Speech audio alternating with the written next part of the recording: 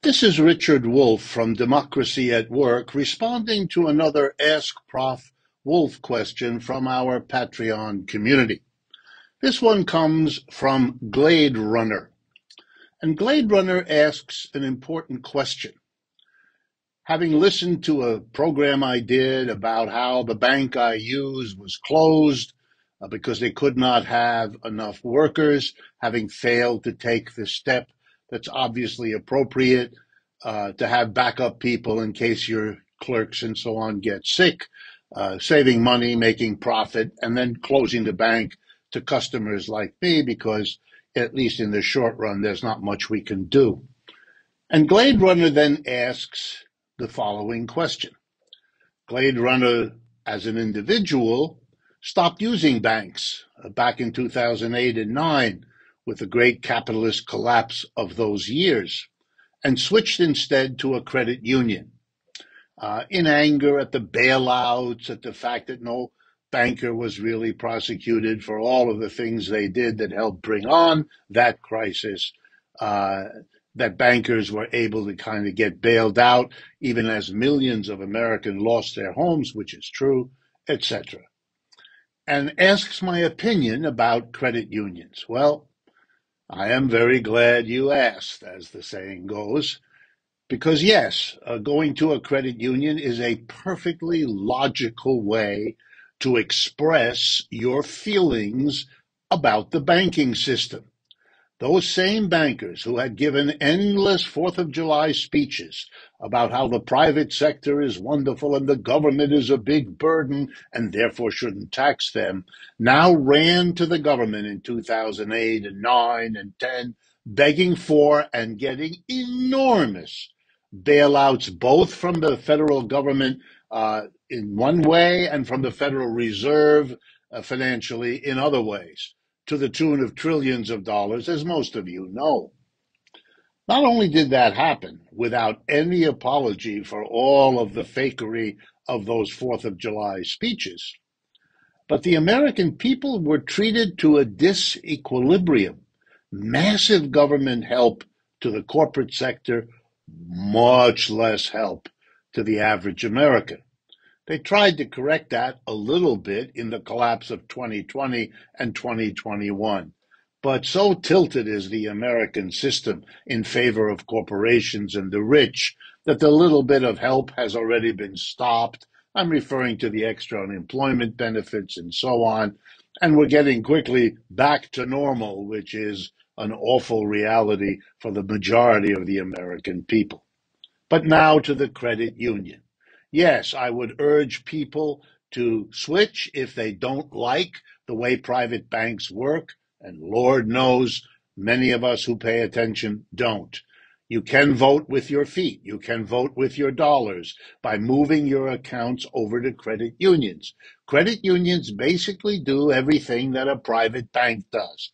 Checking account, savings account, credit card, loans, and so on. So most of what most of you are likely to need can be provided for a credit by a credit union. And here's a, a further and important advantage. Credit unions rebate any profits they make for the benefits of all their members. They are a kind of cooperative.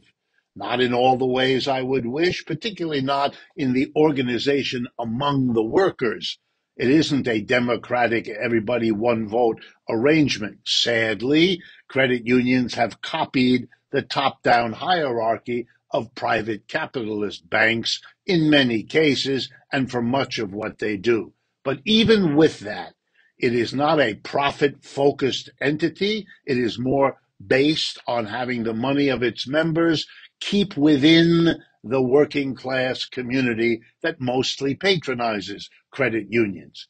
Money deposited by some is lent to others for their homes, uh, for their needs from time to time. It is a collective, cooperative union. That's why it's called a credit union. I am, however, not willing to end this discussion without talking a moment about a politically important point. In 2008 and 9, a great moment presented itself, and it still does. It's the moment to do exactly what Glade Runner's question suggests. Move your money away from a private system whose corruption in the broad sense of the term, leaning on the government for the money it keeps for itself, abusing its position as intermediary, making huge amounts of profits when rest of the people in the society can't, and so on. If you want to do something about that, yeah, you could have gone to a credit union. But the criticism I offer is that the credit unions themselves were afraid. They didn't take advantage of it.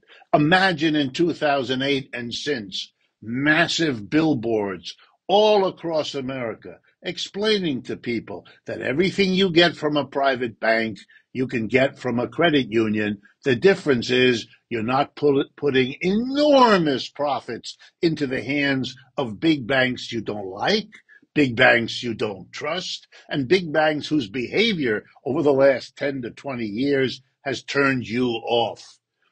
The, the credit unions could have quadrupled their size. They could have become much more important. They missed an opportunity. And here's the bottom line reason why they didn't. And I personally had some conversations with some of their leaders urging this, so I do know. They were afraid. They were afraid that the big banks, seeing that happen, would come down on them. And they know that the big commercial banks have more political pull than they do. So they were afraid and they didn't step in to reap the very benefits that were literally at their doorstep. It's a case in which they're not understanding the political moment, which we're now living in because the movement to the left of all the people who support Bernie, of all the people who support AOC and politicians like that, and all the people that feel as Glade Runner does that the banks are not deserving of their support, all those people are still there. They could have been mobilized and they could have protected credit unions and made them a collective cooperative alternative to a top down, highly concentrated, super rich private big bank system. Too bad they weren't more politically attuned. It would have been better for us and it would have been better for them. This is Richard Wolff reminding you the point and purpose of these short videos, these responses to our Patreon community's questions, are to get you to partner with us. Share this video with anyone and everyone you think might be interested. That's why we do it. Friends, coworkers, family.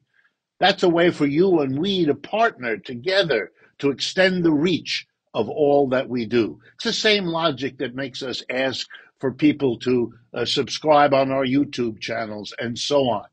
It extends our reach it redoes the algorithms that bring people to an awareness of what we do.